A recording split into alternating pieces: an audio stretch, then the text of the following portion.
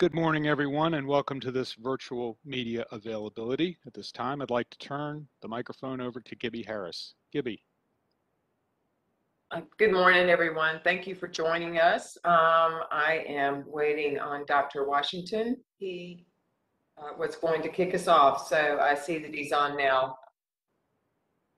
Hey, hey, hey. can everybody hear me good? Yes, we can. My computer's uh, giving me grief. I'll let you get us started, All Raynard. right, so sounds good. Good, good morning, everybody. Great to be with you all today. Thanks for joining us for uh, a brief update on where things are with COVID-19 here in the county. Um, uh, just to give a quick update on our trends, uh, we continue to see uh, pretty encouraging signs of, uh, of progress on all fronts. Um, all of our case counts are continuing to go downward. Um, we are um, at the point where we're seeing fewer than 200 cases a day, which is good progress from where we were previously. Uh, we're also seeing improvements in the number of patients we have in the hospital on a daily basis. Uh, that number continues to trend downward, as well as our percent positivity uh, is getting closer and closer to 6%. Um, and we look forward to um, this continued progress. Uh, certainly, as we are talking today, much of our discussion really is to continue to encourage our community to uh, to stay vigilant uh, so that we can continue to move uh, along this pathway of, of progress. Uh, I will quickly uh, also share that we are in the process of um, plan of launching our um, home-based test kit pickup at local libraries. Uh, that initiative is uh, scheduled to start next week on Monday, November the 1st. Uh, so individuals are able to obtain at-home test kits uh, through this program at four library branches here in Mecklenburg County. Uh, they will be available on Mondays and Wednesdays at the uh, West Monday, Wednesday, and Fridays, excuse me, at the West Boulevard location and the Hickory Grove location. And Tuesday, Thursday, and Saturdays, they'll be available at the South Boulevard and the Sugar Creek locations. Uh, that information is available on our website, mecknc.gov backslash COVID-19. Uh, these test kits are free of charge and, and, and do allow patients to uh, test themselves at home uh, pretty quickly. So uh, feel free to take advantage of those if you need a COVID test. Uh, and with that, I will pass it over to Gibbie to give an update on vaccines as well as uh, a heads up on the Halloween season. Thank you. Um, and so, as you hear, we uh, are seeing improved trends in our numbers, which is great news as we move into the winter uh, months when we know there's uh, greater opportunity for viruses to spread. So hopefully our numbers will trend in, in the right direction as we move into the winter. Um, in the meantime, we're trying to stay focused on vaccines. At this point in time, we are 57% fully vaccinated in Mecklenburg County. Um, the good news is we're 68% fully vaccinated for those 12 and up. So all of those who are eligible for vaccines, um, we're at 68%, which is good news. Unfortunately, our 12 to 17 year olds are only a little over halfway vaccinated. So we know we've got room um, to work there over the next um, number of months. Uh, and what I will say is over the, the past two weeks, over close to 60% of the vaccines that have been given out in Mecklenburg County have been boosters. Um, so speaking of boosters, we do know that Pfizer, Moderna, and J&J are all approved now, and that individuals can choose which one of those they want for a booster if they're eligible for boosters. Those that are eligible include for J&J, it's recommended for those over the age of 18 who have had a booster, I mean, a, a vaccine at least two months ago. So if you've had a J&J vaccine two months ago or longer, it's recommended that you do get a booster. And again, it can be any of the three that you choose. For Pfizer and Moderna, it has to be at least six months since your, your vaccinations were completed. And you need to either be someone who is 65 or older, those 18 to 64 with certain medical conditions that put you at high risk, and those 18 to 64 who are at high risk because of occupational exposure or institutional settings. All of that information is on our website as well.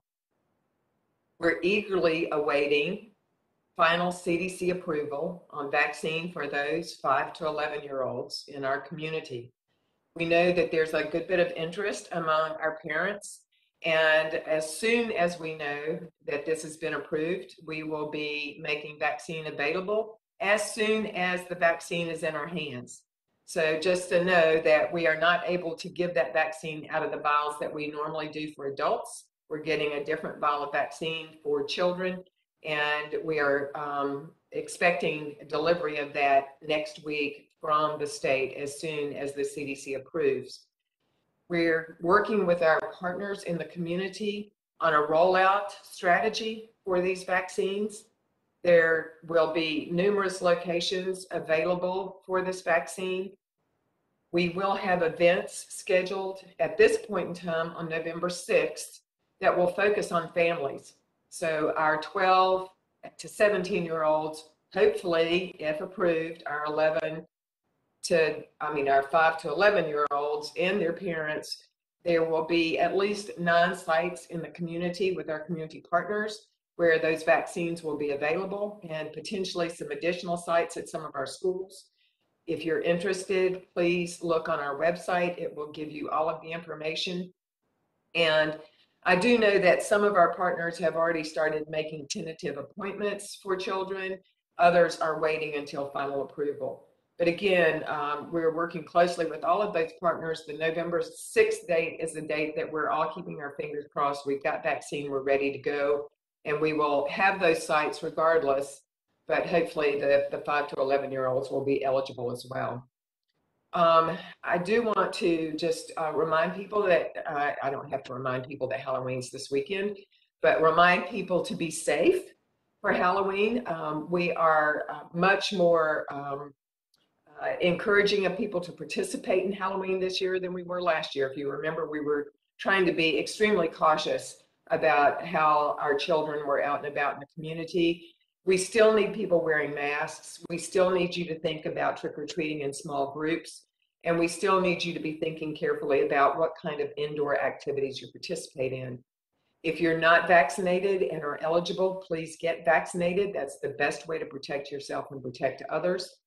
But again, as you've heard from uh, Dr. Washington, we are still in widespread community um, involvement with this virus in our community. Masking continues to be important, especially in indoor settings. So enjoy Halloween, but do it safely. And um, with that, we'll open it up for questions. Thank you, Director Harris and Dr. Washington. First question today goes to Brett Jensen, WBT Radio. Hey, Gibbie, Dr. Washington. Um, just curious, because the state numbers have gone down drastically and continue to go down, um, and also because uh, the head of uh, infectious disease for Novant said all the medical experts believe that these rates will continue to decrease through the spring because there isn't another variant out there that is as infectious. With and with only a handful of counties having actually done a mask mandate, what will it take for you guys to lift the mask mandate um, in terms of the fact that 68% of those eligible have been vaccinated now and uh, by most accounts you know two you know two percent away from being uh, what would i guess be classified as herd immunity. So what will it take for the mask mandate to dissipate um, that is a, an ongoing question that we're getting, Brett, uh, and I'm sure it will continue to be an ongoing question until the mandate's lifted.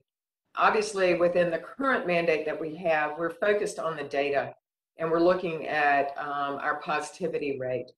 Unfortunately, as I mentioned, we're still in widespread um, community involvement with this virus, but we are seeing our numbers trend, and it could be very soon where we drop below that widespread category. Um, we're continuing to look at CDC guidance on this.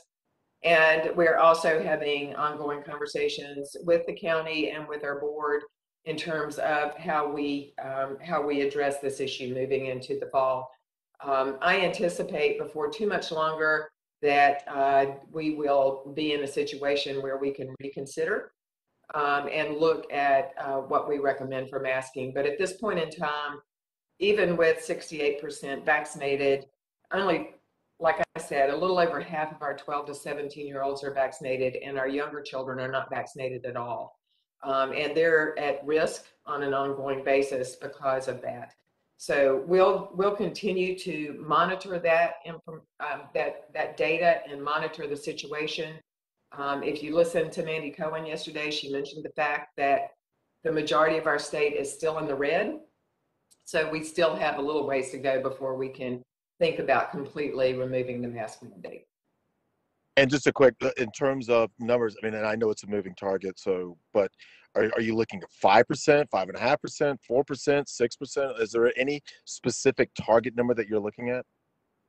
Um, the, the number, especially that's written into the rule at this point is 5% and below um, for some period of time. Um, obviously, if you're watching the data on a daily basis, that number fluctuates from day to day. So on any given day, we may be below 4%, and on another day, we may be above 8%. So we look at averages to try to, to figure out where we are in the community.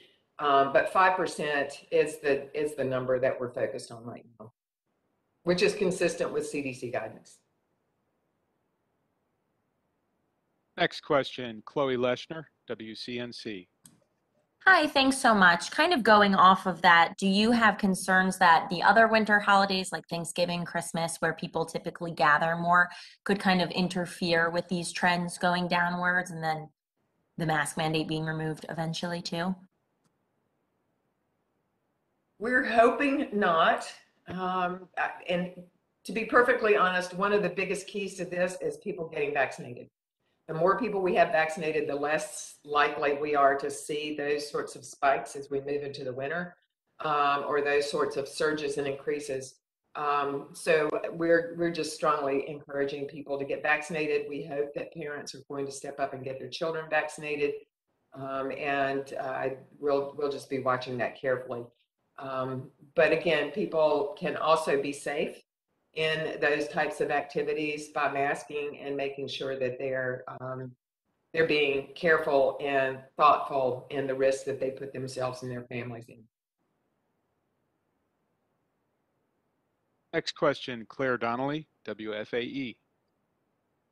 Hi, Gibbie and Raynard. Thanks for doing this. Um, two questions. One is Mecklenburg's allocation initially from the feds next week for the kid vaccine still 13,500. Uh, Dr. Cohen said a different number um, for the state yesterday, so I just wanted to check on that. And then number two, how has the booster rollout gone? How many people in Mecklenburg County have gotten booster doses so far? Raynard, do you want to take that one?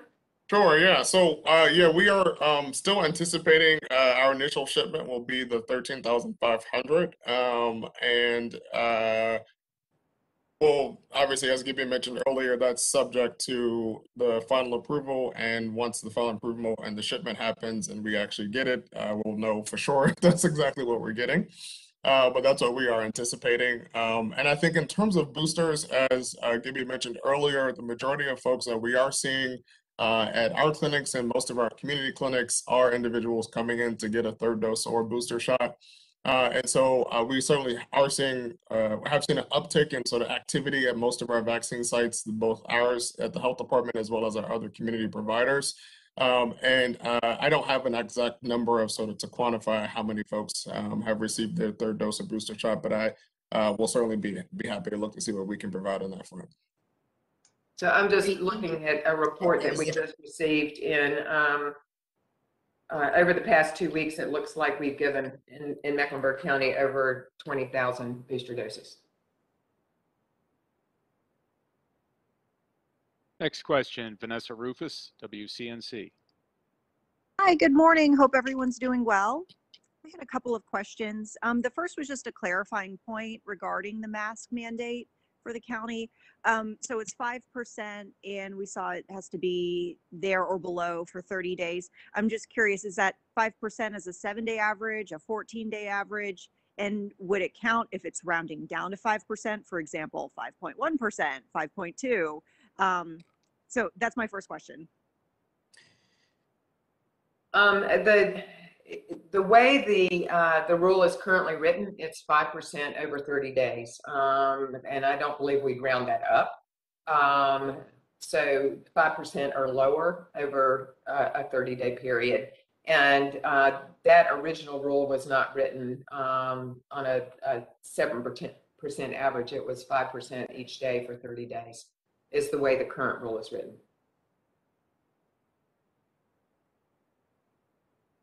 So, okay, I'm sorry. Just, I have to clarify that one, more time. So if we have 29 days of 5% and there's a day snuck in there where it's 7%, we start again? That's the way the current rule is written, yes. Um, There is, uh, there will be discussion about how we move forward with that. Um, But right now, that's the way the current rule is written. Good to know. Um, okay, so my second question has to do with boostering. So obviously we're we're we're still tackling this first round, if you will, of boosters. Um, but we are hearing from a lot of experts in the field who anticipate some sort of Delta targeted booster coming perhaps in the spring of next year. I'm just curious to see if y'all are already talking about that. Um, and do you anticipate, I know it's really early, but are we to the point where we're anticipating getting boosted every six months now? Or is this still maybe just going to be a yearly thing? Uh, That's a great question, Vanessa, and I don't know that we have an answer for you on that. Right now, we're just focused on getting um, first doses, second doses, and the boosters that we have in people's arms as quickly as we can. Um, So uh, there's, there's lots of speculation. Um, There's lots of uh, thoughts about potential for the future. Um, But as you know, COVID has been a moving target since the beginning. And so we'll, we'll continue to try to stay on top of that. And if there's any additional information, we can provide it. But right now, we just don't have an answer. Next question, we're going to circle back to Chloe Leshner at WCNC. Thank you. I just wanted to clarify, are more people coming in for booster doses right now than just their initial series? And then kind of what are your thoughts on that and where we stand with vaccines going out in general? Yeah, so so certainly as as Gibbie mentioned earlier, you know, in the last couple of weeks is the most recent data we have available. Um, roughly 60% of the doses that were administered were booster doses. Um, and roughly 18% of those were first time doses, so either a single dose of Johnson & Johnson or first of Pfizer Moderna, and 23% of them were second doses. Um, so the majority of folks coming in right now are for uh, third doses of boosters. Okay, back to Brett Jensen, WBT Radio. Um, I, I guess this is for Dr. Washington, but uh, probably Gibbie as well.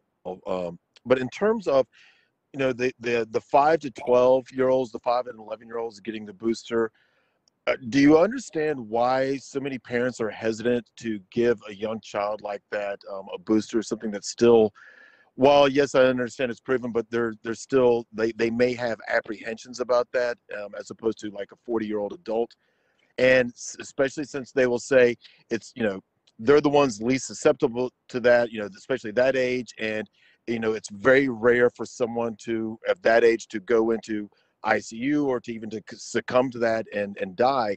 So do you understand why there's a hesitancy for mothers or parents to give their young children the vaccine?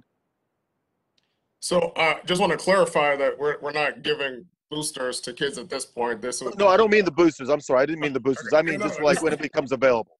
Yeah, got it. Just wanted to make sure we were both talking about the same thing. Um, you know, certainly, uh, as you all know, we've seen vaccine hesitancy in every community across the board since the beginning of this uh, vaccine rollout. Um, and certainly, we've been doing everything we can to really address uh, that hesitancy in the in the community, uh, from the boots on the ground to the works we're work we're doing, sort of at a more of a systems level to get awareness about safety, effectiveness, um, and making it as easily available for people as possible. Uh, so nothing is different in, in the case with the kids. Certainly, we will continue to do those activities. We'll continue to, to talk to folks, educate people, uh, provide easy access and opportunities to get vaccinated.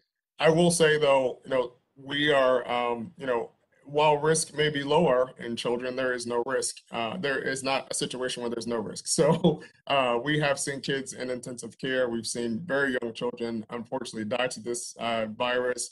Uh, and so certainly the risk of those complications is greater than the risk associated with the vaccine. And so we certainly encourage all families uh, to consider uh, the, the likelihood that there could be real, really severe complications due to uh, a COVID infection uh, and that protecting their kids and uh, through vaccination is the best chance they have at keeping them safe from any severe complications. So we will continue to, to, to tell that story and to make sure families know that it is important. Uh, as you know, with the Delta surge, we saw a lot more kids in the hospital, a lot more kids in the PICU, a lot more kids on, um, uh, you know, life-saving interventions to keep them uh, safe uh, while fighting the infection. And so certainly the risk of severe illness from the infection is, is greater than any uh, potential safety concerns with the vaccine. Brett, the one thing that I'll, the one comment that I'll make um, is that with our children who have become infected, become ill, been hospitalized, and even with the deaths, you know, with our older population, what we saw is those folks with chronic conditions um, and uh, at higher risk were the ones who had the worst outcomes. That's not necessarily the case that we're seeing with children. Um, and so you can't look at a child and say this one's more likely to have a severe complication from COVID than that one. And, um, I, you know, as a grandparent, as a parent, uh, former parent, I'm not sure I'd want to gamble with that with my child. Um, and that's why we will continue to encourage people to uh, to think seriously about getting their children vaccinated. And if parents have questions, they need they need to seek answers from individuals that they trust, but also from individuals that can provide them with good, solid information. They're pediatricians. Um, they can call us, our hotline, have conversations about this um, you know, we we strongly encourage parents to seek out that that good, solid information to help them make that decision. We have a follow-up question from Claire Donnelly, WFAE. Hi again. Um, so any thoughts on why booster doses are the majority of people getting vaccinated right now? And then also, is anyone getting the initial J and J shot anymore? so you know with with um, we had already seen some slowing in the number of people coming in for initial vaccines prior to boosters um, we've continued to see that that lower level of folks coming in for first vaccines um, over time as you know as we got more and more people vaccinated there were fewer and fewer people um, who were uh, making the effort to come in for first vaccines so we continue to have to do extra work to try to help them understand the need and to get them in for the vaccines. So that's not surprising. And the main rush for the boosters, I think, is because they're now available. They weren't available before, and people who are concerned about waning um, antibodies and increased risk are coming in for those boosters. So it, it's not terribly surprising. Um, but we are continuing to stay focused on first vaccines as well as getting people in for the boosters. Next question goes to Erik Spanberg.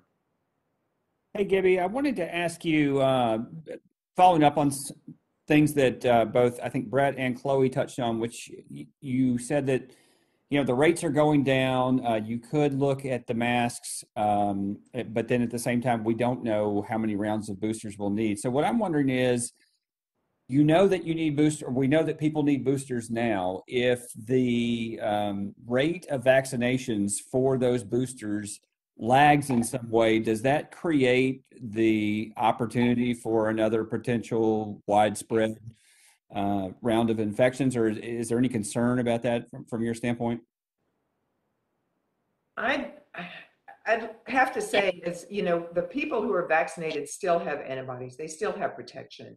It may not be as strong as it was, um, but they still have protection. So we will, um, you know, I think that is that's something that we um, are pleased with the number of people that are fully vaccinated, and we'll continue to try to recommend the boosters for individuals.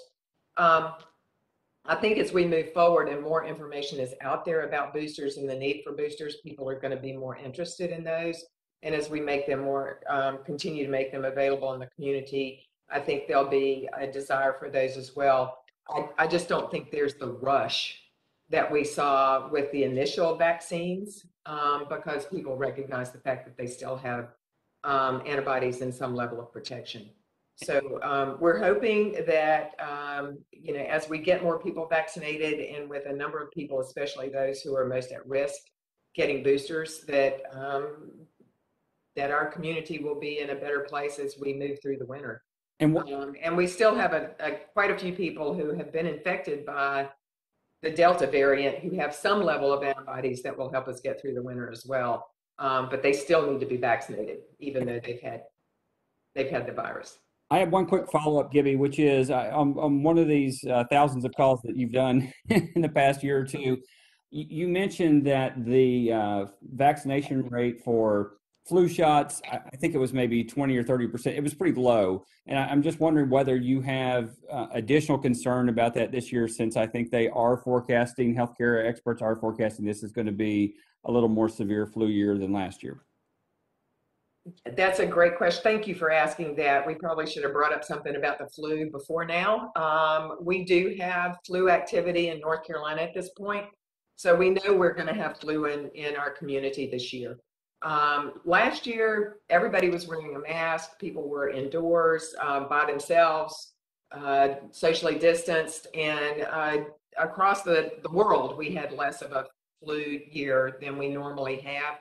We're not sure that's going to be the case this year. So flu vaccines are important. People need to be getting those as well as the COVID vaccine. If um, so, uh, we we do need to be concerned about flu. It's not as dangerous a virus, obviously, as COVID has been, um, but it's still a virus that can cause um, severe illness in some people and death in some cases. So we want to make sure that people are protected against the flu as well. Thank you. You're welcome. Floor is now open for follow-up questions. Hi, really quickly, can you all just elaborate on the at-home tests that are going to be in the libraries? How many of those tests were there, will there be? Who should go and get one and kind of what the benefit of them will be? Yeah, sure. So, um, so we have a, um, I guess the best way to describe it is a stable supply of test kits. Uh, so we do have enough, and we have a, uh, we, we're being resupplied as uh, on a weekly basis. Our partners at the state are supplying the test kits for us, um, and so they will be available um, pretty much until supply runs out on a weekly basis. Uh, we do think at this time, though, we do have enough supply to meet whatever demand may be there. Uh, these are meant to be a convenient option for people who um, need to take a test either because they're having COVID-like symptoms, uh, they are, you know, potentially were exposed to someone and want a rapid test, uh, maybe, and, and, potentially can't afford to purchase one in, in uh, the pharmacy, for example, the over-counter ones. Uh, or cannot access a testing site during those hours, but can pick up a test kit, you know, at six o'clock from the library. Uh, so certainly that it's meant to create another convenient access point uh, for those in our community who need uh, to take a COVID test for any reason, whether it be exposure um, or they're having COVID-like symptoms. Uh, and the convenience of it is that you can just pick it up without an appointment and you can do it at home and get a result there um, and you're able to uh, sort of move from there. Next question, Vanessa Ruffes, WCNC. Hey, thank you for the follow-up. Um, I was just wondering, are y'all tracking like reinfections?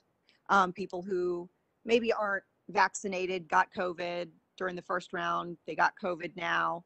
Um, I guess I, I'm just kind of curious what we're looking at as far as like if we don't get people vaccinated, are we just going to continue to have this like certain group of people just getting sick over and over and over again? Yeah, I think globally speaking, you know, COVID is with us. And I think you've heard us say this before. It's not just going to disappear. Uh, so we're really sort of transitioning to a period where it's really becomes um, endemic or just here in our community on an ongoing basis. Uh, certainly, we are tracking reinfections, and so we see individuals um, who are, based on the CDC guidance for reinfection, uh, they have to be at least 90 days out from their initial infection. Uh, and so we are keeping track of those cases um, and have been doing so for quite some time. Um, we are, uh, I think I'll just reiterate though, even with folks who've been previously infected and those who are vaccinated, we're all still at risk for being exposed and potentially infected. The risk of having or developing infection is obviously much less if you've been vaccinated by very large margins. Uh, but we all still are at risk. And so, as long as COVID is circulating in our community, uh, which we expect it will continue to just circulate as it is now, uh, we will have these periods of high transmission and periods of lower transmission. Uh, certainly, it's expected that we'll need to, um, th- those of us who are vaccinated obviously are going to be at the lowest risk for being infected and ultimately getting really sick um, or any severe complications that might come with it. And then I just have a quick follow up to that. I mean, we talked about moving from pandemic to endemic. Do you foresee any point in the near-ish future when people aren't, for example, if they're fully vaccinated, wouldn't have to quarantine for 10 days if they have like a very mild case or maybe even an asymptomatic case where they they feel fine, they don't have a fever, et cetera, but for some reason test positive? Yeah, I think there, there there's lots on the horizon in terms of how how we respond to the pandemic, particularly as we're able to get the youngest of us vaccinated, uh, and we have tools in our toolbox to be able to protect the majority of people in our population, uh, specifically, you know, vaccine for everybody. Um, I think we will handle COVID differently as a community, um, and I know our federal partners and state partners are all having discussions now about, you know, what that transition looks like. At what point do we make that transition? Uh, but certainly that that is there are there are a lot of uh, potential uh, changes that will be on the horizon in the next several uh, months to to year. I appreciate it. Thank you. Next question, please. Have any further questions or follow-ups? I don't have a question, but I will follow up. Um, we uh, appreciate all of y'all, your efforts to educate our community to help get word out. And we, we appreciate the opportunity for you right now to help us get the word out about the importance of vaccines for all age groups, the importance of flu vaccines for all age groups, as well as um, the continued importance for masking at this point in time until we get our virus more under control in our community. So we appreciate your help um, in getting that word out to our community as, as we all work to battle this pandemic. Thank you. Thank you, Gibbie. Any further questions today? All right, we appreciate your time. Thank you, Director Harris, Dr. Washington. We'd also like to recognize our American Sign Language interpreter for broadcast today, Meg Tucker. Have a great day. Thank you, Thank you all. Bill, and everybody else. Thank you. Oh.